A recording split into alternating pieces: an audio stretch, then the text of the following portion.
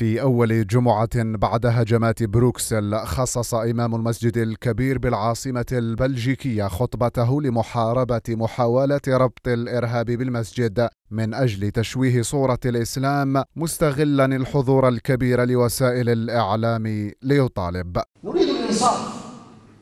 نريد العدل.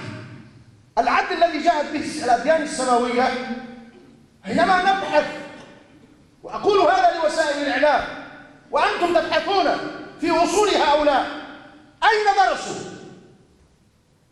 أين تعلموا؟ هل درسوا في مدارس بلجيكية؟ أو في مساجد بلجيكية؟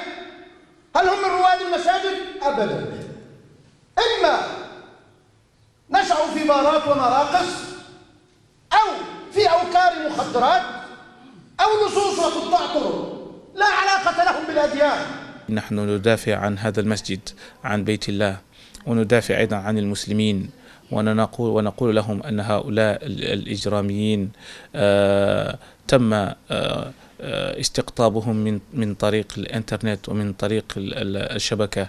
فلا علاقة للمساجد بهؤلاء. فهؤلاء آه، أناس آه، عرفوا قبل ذلك بالإجرام ومعروفين أيضا من طرف الشرطة.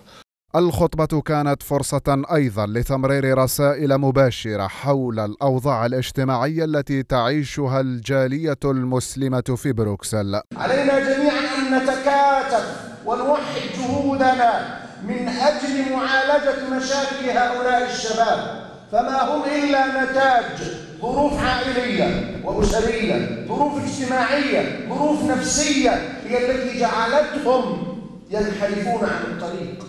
هي التي جعلتهم يسلكون مثل هذه المسالك يسلكون طريق الجرائم طريق العنف.